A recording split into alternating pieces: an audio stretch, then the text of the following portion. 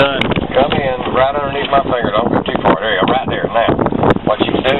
Don't let them jump ship. That, well, you can do it that way or that way. You can do it that way, but then again, I want one where you hold it straight out there a little bit.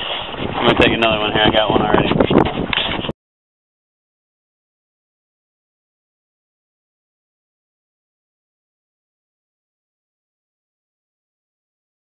Okay. Boy, Look at me, Rich. Hold it up. I'm recording now, Rich. What you got to say? Yeah, baby. What do you got to say, Rich? I got lucky.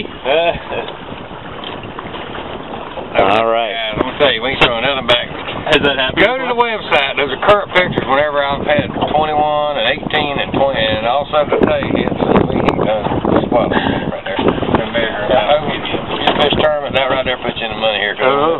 This coast a big trout. 23 and a half inches. All right.